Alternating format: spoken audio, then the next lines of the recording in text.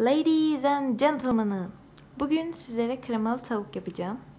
Hemen malzemeleri sayarak başlayalım. Malzemelerimizi sayarak başlayalım. Burada 2 paket tavuğumuz var kalça. Yaklaşık 7-8 dilimden oluşan julienne doğradık.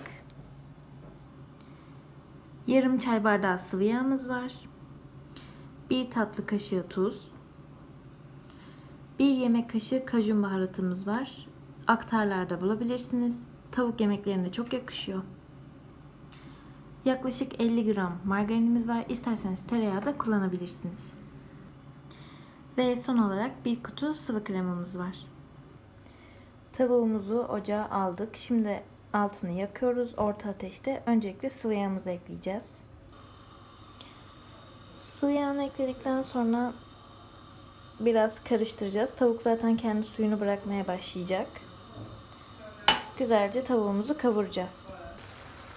Tavuğumuz yaklaşık 5 dakikadır orta ateşte yavaşça çevire çevire kavuruyoruz. Zaten suyunu bıraktı. Suyunu çektikten sonra margarinimizi ekleyeceğiz. Sonra biraz daha kavurduktan sonra baharatlarımızı ekleyeceğiz.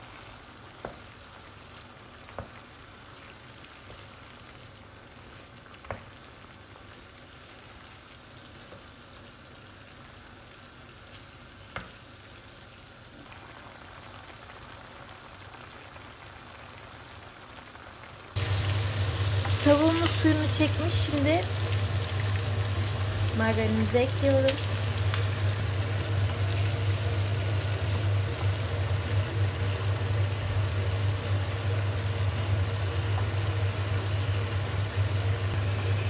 Bir tatlı kaşığı tuzumu ve bir yemek kaşığı kajun baharatını ekliyorum. Bu arada su kaynıyor. Kettle'ın sesini duyuyorsunuz.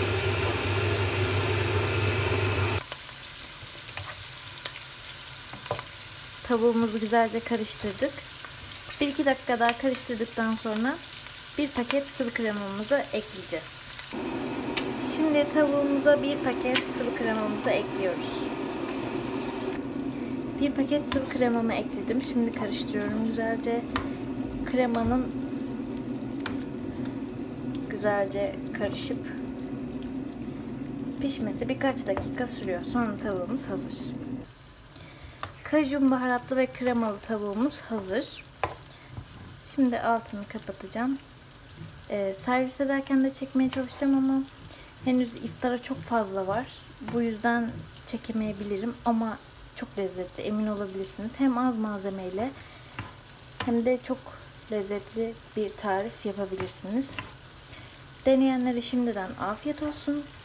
Lütfen deneyenler yorum bırakırsa sevinirim. Bu arada Instagram hesabımda Sivasli Unicorn 2 n ile